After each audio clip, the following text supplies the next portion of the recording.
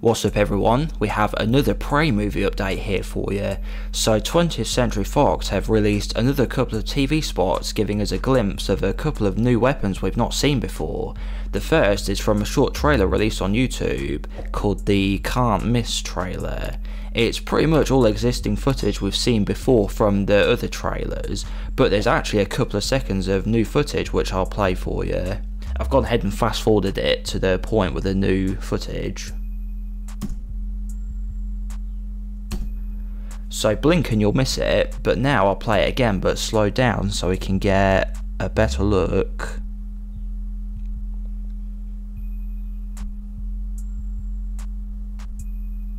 So that 0.25.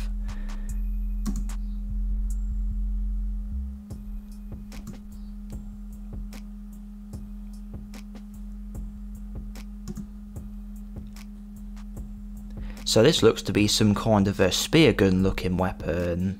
You can see the projectile kind of hovers there like it's levitating, like it's being controlled by an anti-gravity field.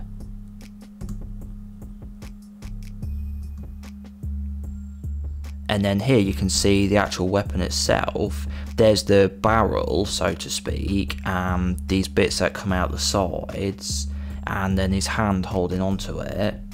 And then you can also see here, he is actually using the laser sight on his mask. You can just make it out there.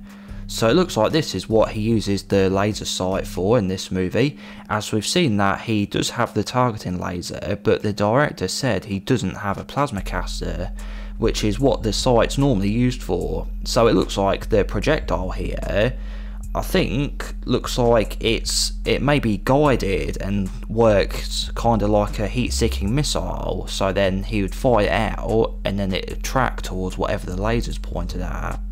I think this looks like the weapon he has on his back in the other picture we looked at the other day.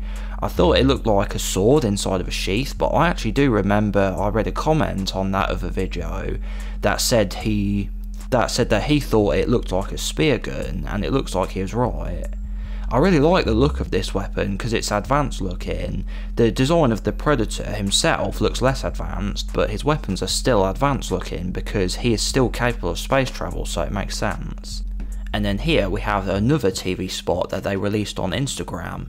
It looks like he seems to be holding up some kind of a melee weapon and it has a hook at the end. So I don't know, maybe if this is kind of his version of a tomahawk. And you can also see uh, the metal part under his mask, which I talked about in the other video. So it looks like he does actually have a biomask underneath the skull. And then finally, we have a few more new images showing some of the human characters. So let me know what you think about this news. The film's not far off now, only another week or two to go.